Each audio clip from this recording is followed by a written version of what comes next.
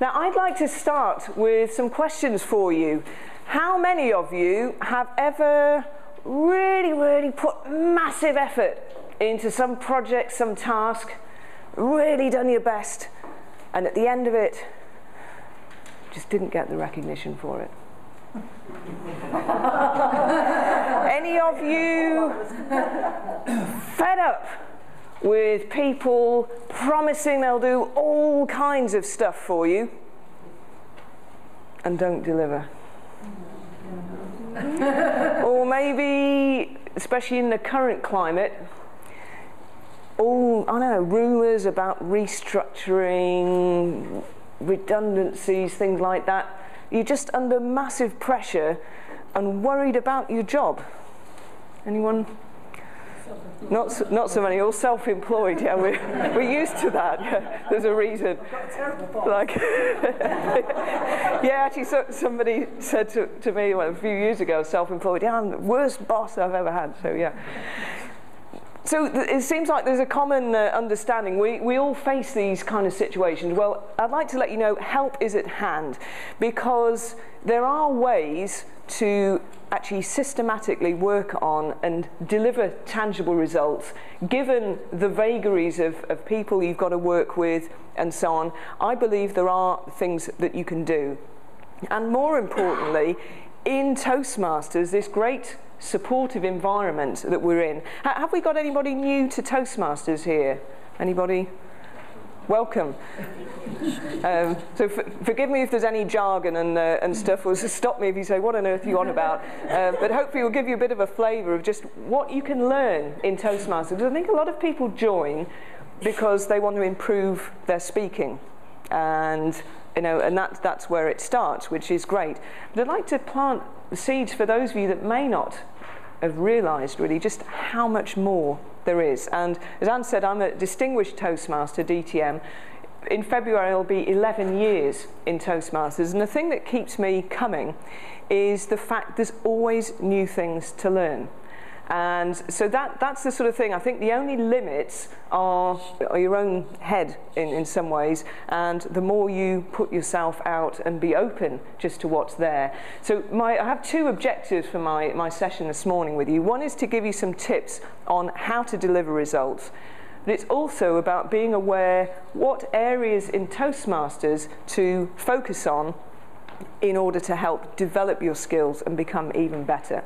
Does that sound worthwhile? So that's what we're, we're going to work on now. If I find my clicker, I'll probably get this out the way so it doesn't block the slide. Achieving results. Sometimes in life, we can be faced with situations where we think, oh my goodness, how on earth am I going to achieve that? Achieving the impossible. Now here was a situation, if you read a bit of the blurb on my um, handout and, and, bio and stuff, you'll see I spent uh, most of my early career, first 15 years, in manufacturing, and particularly in the auto industry. November 1998, I was in charge of a car component company in Germany making all the rubber door seals and window seals um, for cars, quite a big, big supplier. And on Sunday, I got a panic phone call to say, Werk 4 ist in Brand. The factory's burning down. And when I got there, the Sunday night, uh, I could smell it from six kilometres away, a rancid smell of, uh, of rubber. If any of you experience it, it's not one you forget um, arc lights, the, water, the road was half flooded with all the, the, water and foam and so on. It was a dramatic sight. The next day, this is, uh, this is what it looked like. Um, now, here was the challenge. We were supplying to about a third of the European car industry. And we, uh, yeah, we had a number of big clients, Volkswagen, Audi, Ford, who would stop very quickly, you know, within a couple of days on some of them, um, if we didn't do something. And so this, you know, there was a quite a, a clear challenge on what to do.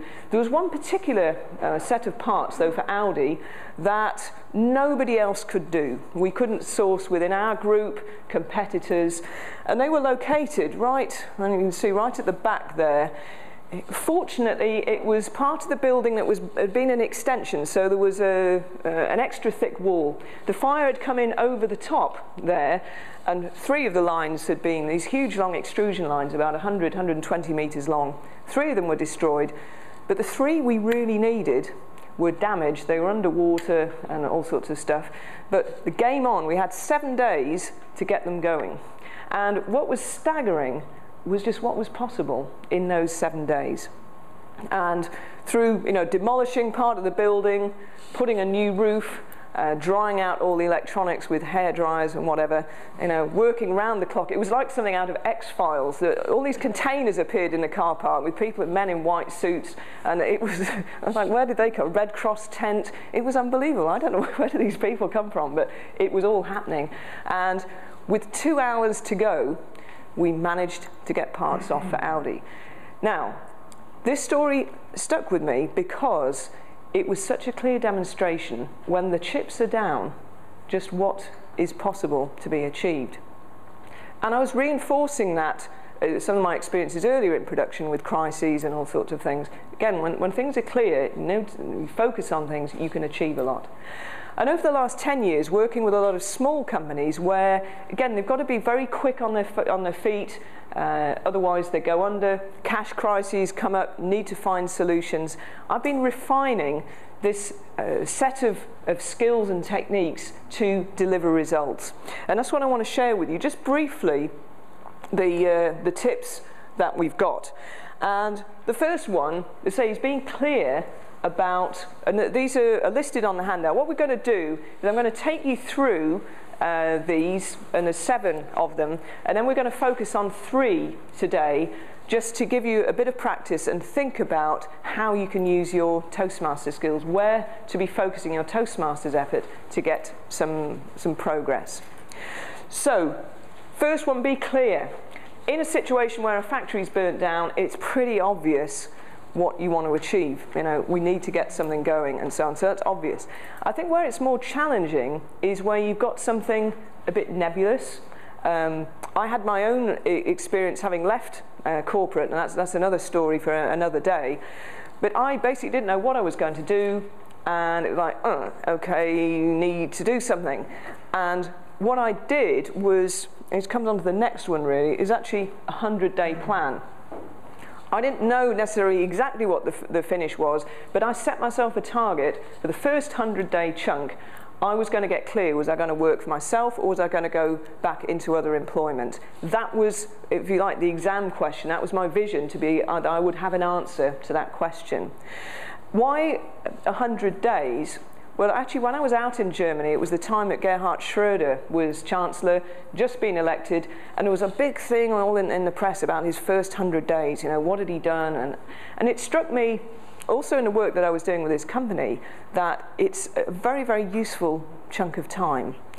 It's long enough that you can achieve quite a lot in 100 days, but it's not so long that it's way out there and you don't actually do something. So we'll talk uh, and go in more detail on, on this one. Gauging people and resources. Even if it's a project for yourself, um, for instance, in Toastmasters, it might be writing, uh, you know, doing three speeches in the, in the next 100 days, say, for example. You might want to engage other people in that. If you haven't got a mentor, perhaps you want to get a mentor. Might just be a friend that you can bounce ideas off. You know, things, none of us are an island, is the saying, and I think the more you can bring people in. So it's identifying who are the sort of people that would help me in achieving what I want to achieve. Or it might be you need money or funds or whatever else, but you know, you need to be clear on what resources you need and be able to get the right people on. Focus. Said again, in the fire situation, it was pretty obvious that was the, that was the main game in town. Uh, but one of the things I find, particularly working with small business owners, and I find myself as a small business owner, there are so many things that need to be done.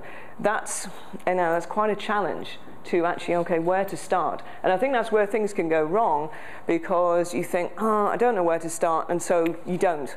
And, you know, then it, it just sticks um, so we'll, again, we'll, we'll, talk a little bit on that because I, I, think the next one, taking action, is so important, and particularly in that state of overwhelm, it's very easy just to kind of shut down and be in a in a grind. I always remember uh, was when I was at university, there was a, a, fair came to town, and I got in this huge tube. It looked like a good idea at the time, enormous tube with carpet in it, and it started to rotate. And so the idea, you were sort of walking along. I thought, well, this is easy. What, what's the problem? And suddenly they put the strobes on, and it just completely freaks you out because you, I don't know, you, you, do, you lose the fact it's moving. So suddenly we were being tumbled all together in this big tube, and I can tell, I don't know how long it went on, it was probably only two minutes, but it felt like forever. And I don't know about you, but there are times when I feel I'm back in that tube just being tumbled. You ever, anyone relate to that? It's horrible, isn't it? You just think, ah. So uh, I think what I've learned uh, is to have a, have a strategy when I feel I'm in that place, react to the feeling and think, right, time for act, you know, time for something, emergency plan here, uh, and I'll, I'll, share some of the, the things that I do to actually get out and just do something. Um, is, is most important. Might just be one telephone call, but that can trigger a series of things and it gets you moving. Reviewing progress. Now, timescales for that can vary. In the fire situation, we had reviews every six hours uh, round the clock, or certainly six to eight hours, because that was the sort of timescale we were dealing with. Now, depending on what you're uh, dealing with, I wouldn't think, and certainly what I'm dealing with now, I don't have them that frequently, but certainly weekly, I think is a, is a good discipline. Just sit down, how's it going? Uh, and, you know, it's using evaluation skills, all sort of stuff. We're going to talk more on that. And overriding everything, I think, is having a winning mentality. You know, I do uh, quite a lot of music as one of my hobbies. I play the cello, and I'm fortunate enough to go for coaching weekends with, with some of the top uh, string chamber groups uh, in the country. Um, I've heard other top people talking, it doesn't matter whether they were former RAF pilots, um, footballers, or whatever. I think there's one thing that comes through, and again, where Toastmasters can really help. It's about confidence. You know, it's such a, a hinge on whether you perform or not. You know, it's having the confidence and the courage to take a step, to do something, to launch into the unknown in some ways, and actually, you know, in scoping uh, a project like that and also be striving for excellence. You know, I think if I was to pick two things out, what struck me over at the uh, international convention in Las Vegas, you know, hearing the people who were on the in the world final, virtually all of them had got coaches. They'd studied and scrutinized the past winners, uh, what they did. They've really put a lot of effort in. And I think it's sometimes we think, well, we'd like to be better, but all these top people, to me, they've put the grunt work in. And you don't see that. You know, when somebody launches at the top level, you haven't seen the, the donkey years work. Again, the uh, winner of the Golden Gavel Award, Robin. Teresa, help me. Whatever, the guy who wrote um, the, man, the Monk Who Sold His Ferrari, leadership guy, uh, he said uh, it took him 16 years to become an overnight success. Uh, I feel I quite like that. Uh, so I think it is, to me, that's a mindset. You know, if you're wanting to get results consistently, and also looking at, at what, if things didn't work, why was that? What can we learn from it? So what we're going to focus on today, because we've got a little bit limited time, I want to give you on three, and on the handout we'll be going and working in pairs uh, to have um, little exercises to get you thinking. So what I would like you to be just being aware of, if there's one particular project that you can have in mind, it might be something in Toastmasters, it could be something completely outside. It, it doesn't matter because this, this technique is useful in every area of your life. So if you just be aware of something you'd like to focus on, just to have a, your own worked example, because I find that you'll be able to uh, apply and, and learn the material better. So these are the ones we're, we're going to uh, focus on. And yes, a 100 day plan, taking action, and then actually reviewing. Um, because I think these are ones which can actually really uh, get you going. Is that, is that okay? Mm. So,